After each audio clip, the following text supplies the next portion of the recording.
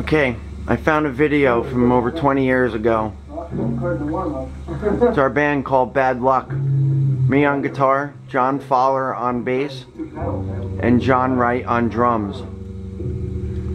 I'm trying to get this videotape onto DVD and then onto the computer so I can put it on YouTube, but I can't seem to figure out how to make it work. So I'm just going to shoot this video now with the camera off the TV and get it out to you guys as a tribute to John Wright. This one's for you, John.